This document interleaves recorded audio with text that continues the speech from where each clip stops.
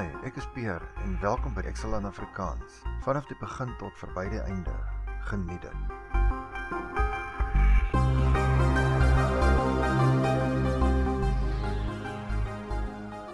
Hi en welkom by nog 'n aflewering van Excel juweeltjies. Vandag gaan ons aan met die beginnersreeks.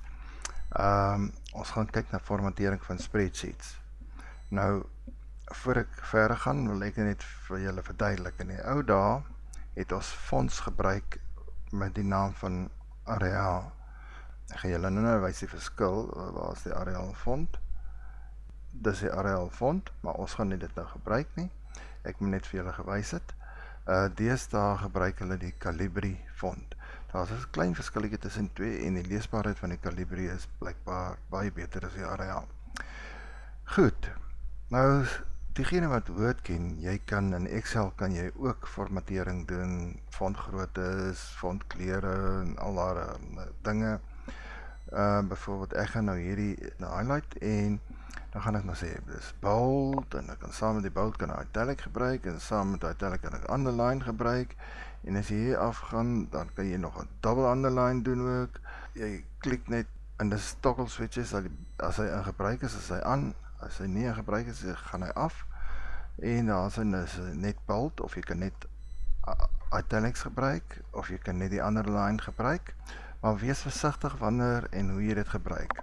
Die formatering of die underline en die bold die italics is 'n beklemtoning op daardie karakters of op daardie sel.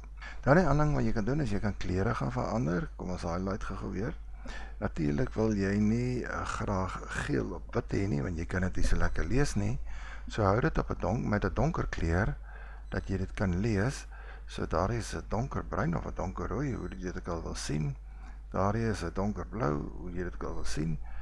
Die beste is natuurlik swart op wit. Dis die maklikste leesbaar. Nou in produksie stelsels en finansiële stelsels enigiets wat negatief is of onder 'n sekere vlak is, dui hulle aan in rooi. So moet nie jou hele spreadsheet gaan rooi maak nie. Dit gaan nie mooi lyk nie. Veral die rooi en blou gaan nie werk nie. Ek druk Ctrl Z om terug te gaan. So met ander woorde, ons gaan later by die if statement kom wat jy kan sê as dit kleiner as 'n sekere bedrag is, maak dit rooi. As dit uh, of as dit minder as 0 is, maak dit rooi. Uh en as dit nou weer terugkom na uh groter as die bedrag, raak dit weer swart. Normaalweg moenie rooi gebruik nie.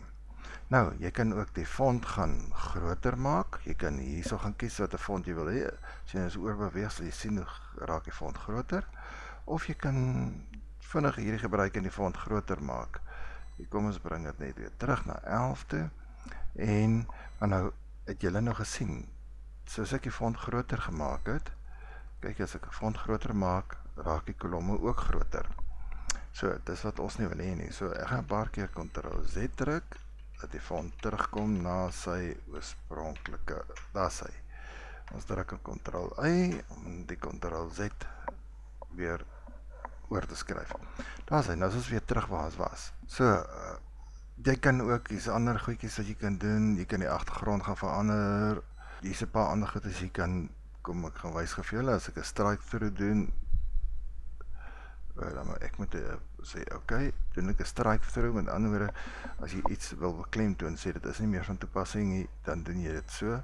Kom ons haal die strike through uit en ons kan dit 'n superskrip maak en sê okay, so met ander woorde iets tot die mag 2 kom ons haal dit af en dieselfde met subscript H2O2 wat jy nog twee keer in die onderkant skryf. Kom ons verwyder dit.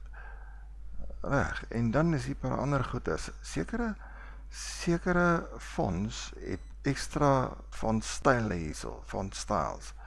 Maar ons gaan nou nou daar ingaan nie. Ehm uh, ek wil nou net hierdie weer terugvat na 'n normale font toe. Ek sal die superskrip af, daar is hy terug na normale font. Nou, die ander ding ten opsigte van fonts, so jy ehm um, ja, okay, jy wys nou nie vir my daar nie. Hierdie font is Gandhara. Dit is die font wat daar gebruik word en soos gewys het, Calibri word die gebruik.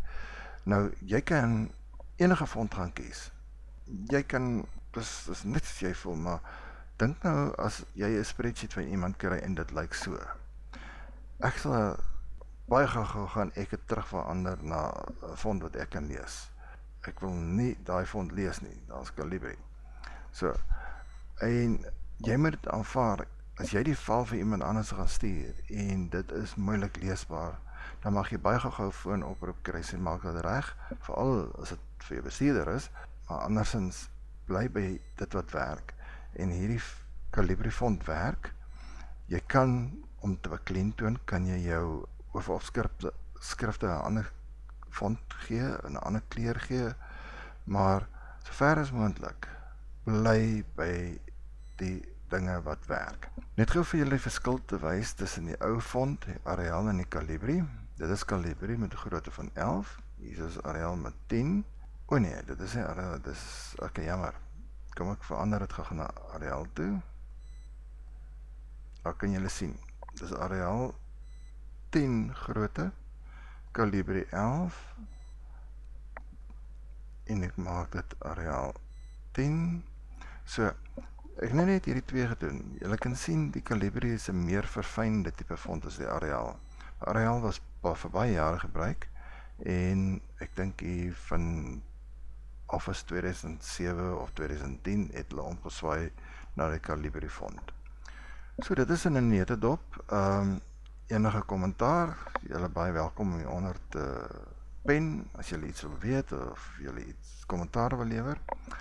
En ja, As daar vrae is, moenie huiwer om te vra nie. Nou ja, dis al vir vandag. Tot 'n volgende keer. Bye.